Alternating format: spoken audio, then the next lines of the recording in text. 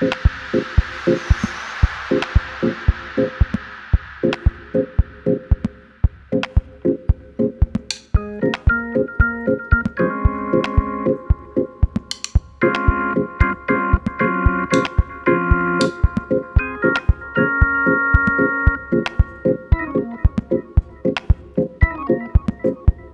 the 3rd of September,